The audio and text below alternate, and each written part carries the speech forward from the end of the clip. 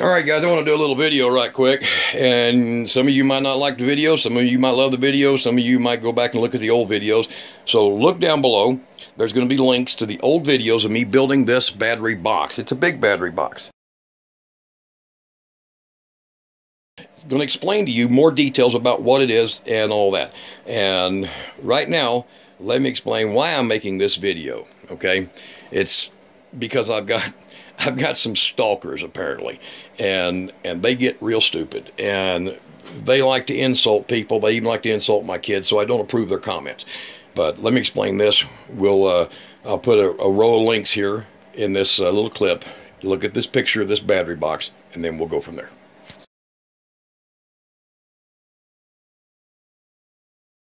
Um, this battery bank here is a year old. And um, I know I get a lot of smartasses that come in here and like to make goofy comments. Um, if you don't have a big battery bank and a lot of big inverters and stuff sitting up inside yours, and you got a little Walmart battery and a Harbor Freight inverter, you, you can learn from me, but you don't have to be an ass. If you want to know how stuff is set up, feel free to ask. These are very large batteries and they are made by East Penn. There also, you'll see decals on them that say solar battery, DEKA solar battery. Um, this is our one year of having these batteries. And what I'm doing with them right now is I am going through your normal test using a hydrometer for um, and some people will call that, you know, you're a hillbilly, hydrometer, you know, you know, fuck you, man. Look, it is a hydrometer. And what it does is it tests the gravity, or actually the water acid combination, and it'll give you a reading. Now, in my case, um, just checking any battery, because we just opened up a few in here, and I've already rinsed this out with distilled water, so here's my battery and you can see it is quite up to par. Okay, and this is after one year. So as far as maintaining or maintaining my batteries, I do a very good job of that. And this is distilled water down here, and I'll just pull a little up in there. And you can see with distilled water, it don't mean shit. so, and then flush it back out and then I have a deliberate other container. We set it in. Treat these with respect. Acid will burn the hell out of you.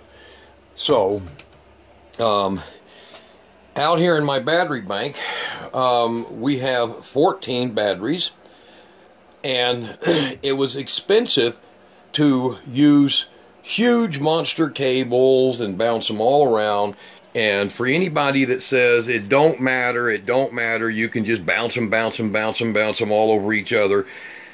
What happens is, and this is from experience, if you don't have experience, shut the hell up.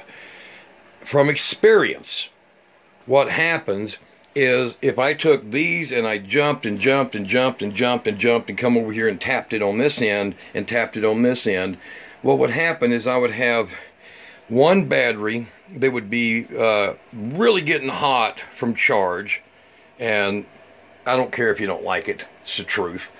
And then I would have other batteries that would suffer and believe it or not when it comes to DC current unless you're a genius and can figure a better way to do it and you run a string of wires and you tap it if you've done yard lights where you've run DC wiring out in your yard and the ground have you ever noticed that the first light on the string is pretty damn bright? The second light, not so bright. The third, not so bright.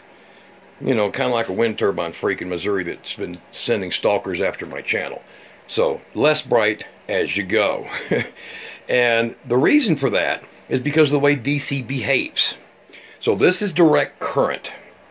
And if you're wondering why I took a whole bunch of these cables this size and tapped every individual battery and did it the way I've done it to where I have this battery and this battery connected into a 12 volt circuit and then equal length cables going up to a manifold up here equal length the reason that we're doing the equal length is the same reason that no matter what battery cell that I open up, after one year, that I will get the same readings no matter what battery I open up.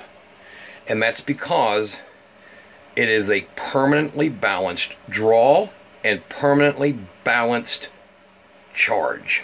Okay? So if you can't handle that, and I'm getting some real genuine morons, and I hate to put it that way because most of my subscribers are just wanting to learn and they got damn good comments and but I've been getting some real morons and I'm sorry.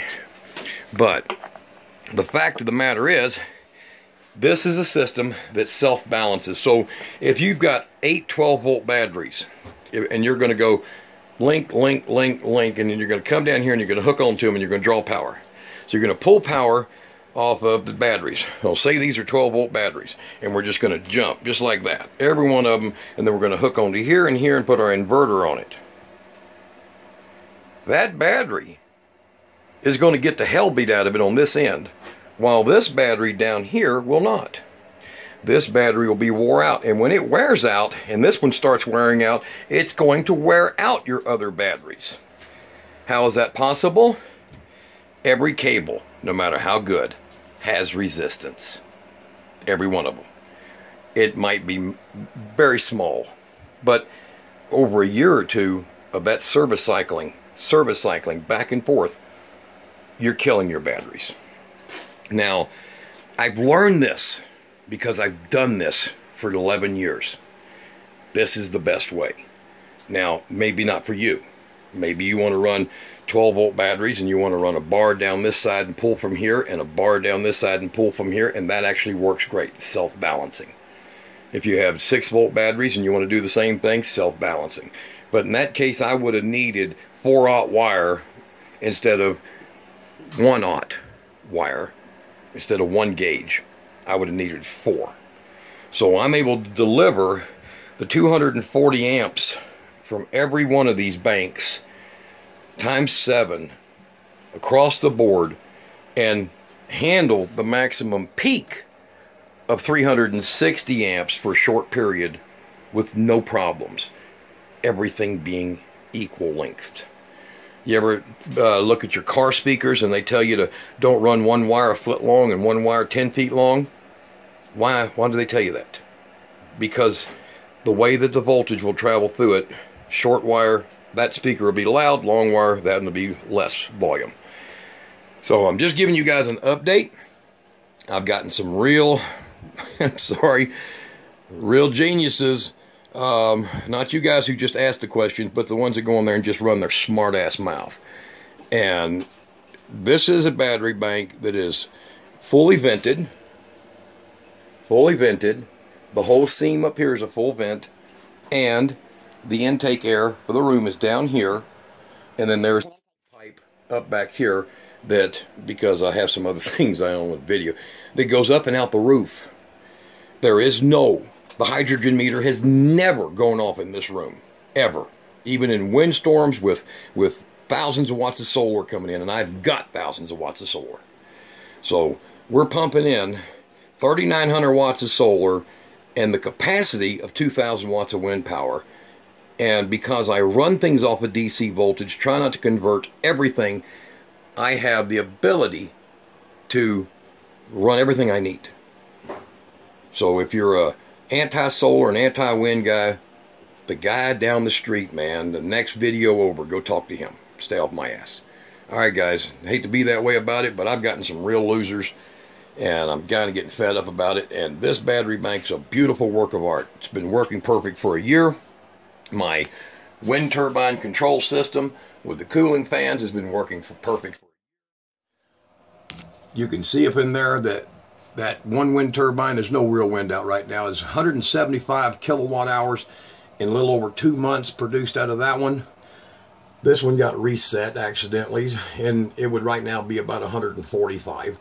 And then this one down here is about accurate at 95. So you can add that up. About 145 175 and 95 kW at 12 cents a kilowatt that I didn't buy from the system just on my wind turbines, which they're not my power producers. My solar is.